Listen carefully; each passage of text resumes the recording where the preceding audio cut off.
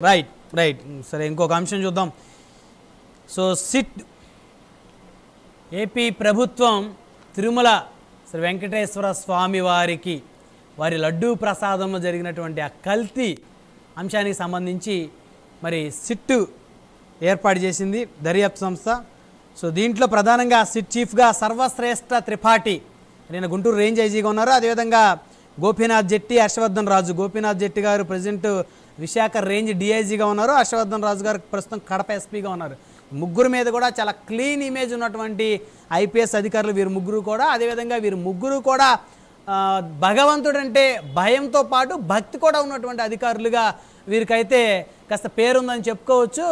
So మొత్తానికి మరి వీరు ఏం తేల్చబోతున్నారు? సిట్టు దర్యాప్తులో ఎవరిని ఎంక్వైరీ చేస్తారు? ఎవరెవరిని విచారం చేస్తారు? ఎక్కడి నుంచి మొదలు పెడతారు? చంద్రబాబు నాయుడు గారు ఏం చెప్పారు? వీళ్ళు ఏం చేయాలనుకుంటున్నారు?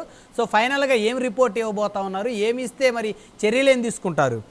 సో రాజుగారు ఏంటి? ఎక్కడ దాకా వచ్చింది? సిట్టు విచారణ మొదలైంది అసలు? బ్రహ్మనాయుడు ఇప్పుడు చూస్తున్నాం మనం. చంద్రబాబు నాయుడు చెప్పాడు ఆల్రెడీ. అసలు చంద్రబాబు నాయుడు మాట్లాడుతూ ఆయన బహిరంగ సభలో మాట్లాడుతూ నోట్లోంచి కాకతాళీయంగా అన్న మాట ఈరోజు దేశవ్యాప్తంగా ఏ విధంగా దుమారం రేపుతుంది? ఆయనే చెప్పాడు నేను కావాలని అనలేదు అదేదో దేవుడు నా చేత చెప్పించాడని చెప్పాడు. సో ఇప్పుడు దాన్ని బయటికి తీసుకువచ్చి ఈరోజు దేశమంతా కూడా ఈరోజు ఇంత చర్చ నడుస్తుంది అంటే నేను నిజానిజాలు తెలుసుకోవాలి తేల్చాలి అనేటటువంటి వాదన మనం చూస్తున్నాం. అయితే మీరు చెప్పారు సిట్ ఏర్పాటు చేసినటువంటి దీంట్లో నా సర్వశ్రేష్ఠ త్రిపాఠి. ఆయన వైసీపీ హయాంలో అంటే ఎన్నికలకు సంబంధించిన సందర్భంలోనే ఆయన ఐజీగా అక్కడ నియమితులయ్యారు. నాకు తెలిసి గుంటూరు రేంజ్కి సంబంధించి అప్పుడున్న పాలరాజుని ట్రాన్స్ఫర్ చేస్తే ఆయన అక్కడ ఇచ్చారు. తర్వాత ఇంకా గోపీనాథ్ జెట్టి ఆయన వచ్చేసి ఆ, తెలుగుదేశం హయాంలో గతంలో టీడీపీ హయాంలో కొన్ని కీలకమైన పదవులు ఎస్పెషల్ తిరుమల తిరుపతి దేవస్థానం సంబంధించి చీఫ్ విజిలెన్స్ సెక్యూరిటీ ఆఫీసర్ చేశాడు గోపీనాథ్ జెట్టి. కొన్ని సంస్కరణలు కూడా తీసుకొచ్చినట్టున్నాడు ఆయన కోసం. తర్వాత హర్షవర్ధన్ రాజు తిరుపతి ఎస్పీగా పనిచేశాడు. ప్రస్తుతానికి ఆయన రాయలసీమలోనే ఎస్పీగా పనిచేస్తున్న పరిస్థితి. సో వీళ్ళ ముగ్గురికి కూడా క్లీన్ ఇమేజ్ ఉంది.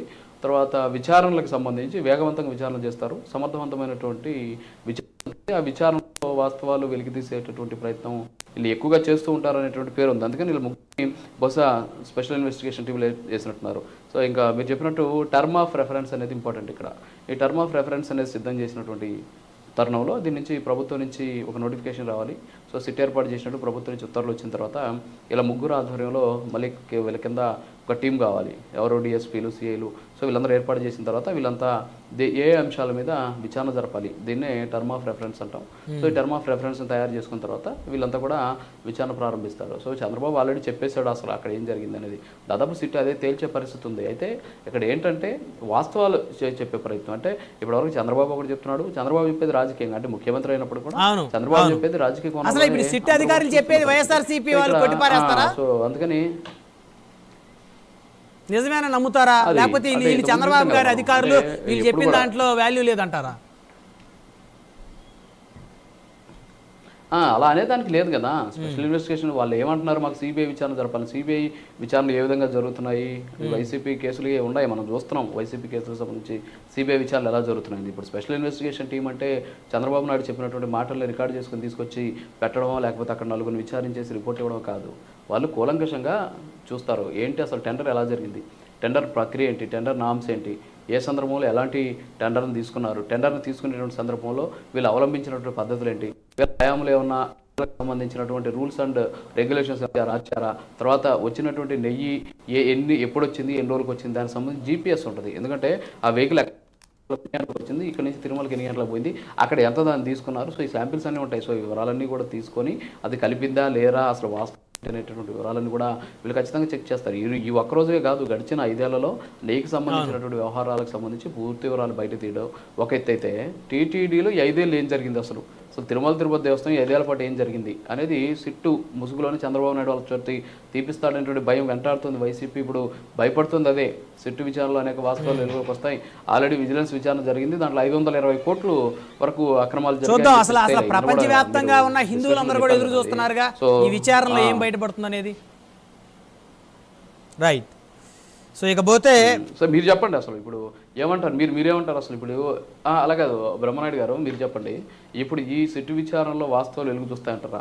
ఖచ్చితంగా ఖచ్చితంగా ముగ్గురు. ఐపీఎస్ అధికారులను నియమించినటువంటి ప్రభుత్వం వాస్తవాలను వెలికి తీయకపోతే ముఖ్యమంత్రి గారు అబాస్పాలయ్యేటువంటి అవకాశం ఉంది. ఎందుకంటే ఓ ముఖ్యమంత్రి హోదాలో తిరుమల శ్రీవారి లడ్డూ ప్రసాదం కల్తీ జరిగిందనేటువంటి మాట ముఖ్యమంత్రి గారు నోటి నుంచి అన్నారు కాబట్టి ఈ ఇందులో ఉన్నటువంటి వాస్తవాలు ఏంటి అనేది మరి అధికారులు వెలికి తీసి మరి ప్రపంచానికి చెప్పాల్సిన అవసరం ఉంది. ఒక ప్రభుత్వానికే కాదు ప్రపంచంలో ఉన్న హిందువులందరికీ చెప్పాల్సిన అవసరం ఉంది కాబట్టి ఇది నిజంగా చాలా బాధ్యత కూడుకున్నటువంటి అంశంగా చూడాలి. రాజు చూద్దాం మరి ఏం జరిగిద్దో.